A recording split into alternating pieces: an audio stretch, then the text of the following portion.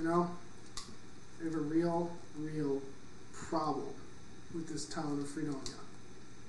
And here it is. If you've been trying to do a film fest or a short film fest, something like that, for a really long time.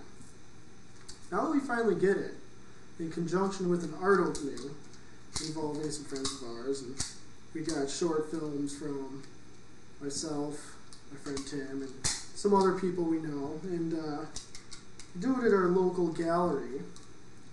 It's free to the public on a Friday, so you probably don't have to work the next day. I'm going to assume it's at 8 at night. You have plenty of time to get there. How many people were there besides the people we know? Probably about five. That is ridiculous. In a town that has a college that is supposed to be renowned in this state and country for arts and artistic expression, I find it absolutely fucking ridiculous and ludicrous that so many of these fucking shitheads would rather go downtown to BJ's and get drunk all night. It's like you get drunk 364 days out of the year. You can take two hours out of your goddamn life come and support something that you say you want to do. And uh, I, just, I just hate it. And it's excuse after excuse with these assholes. If it's not, you know, they won't come out and say that they got drunk or anything. It'll, it'll be some horse shit. And people always saying, like, oh yeah, I'll I'll be there. You can count on me. You know I can't count on you for shit. People saying like, "Oh, I'm gonna, I'm gonna go to this thing, but I'll be there." Yeah, you weren't fucking there, were you? No, of course not.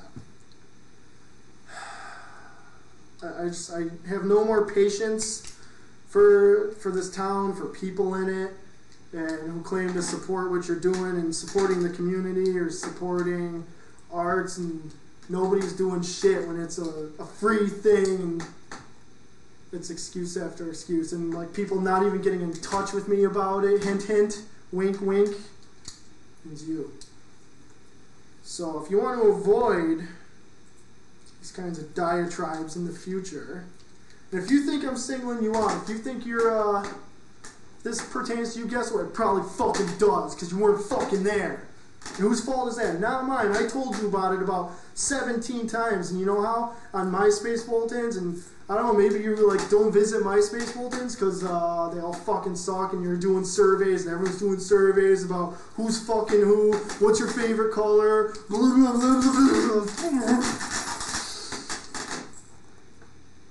I tried to like do the right thing. I was, you know, I put it out. I put the flyer out on MySpace bulletins as well as a bunch of other people. There were flyers on campus. And I don't think one goddamn college student even came to the fucking thing. It's not like it was even a long drive. It was like five minute drive from campus. It's probably a five minute walk actually. It's ridiculous. So pretty much you all in this town can lick my hairy, brown, crusty, sweaty, fucking filthy ass crack. Okay? And, oh, I to, like, kill myself. You make me want to kill myself. I hate you all. Get the fuck out of here.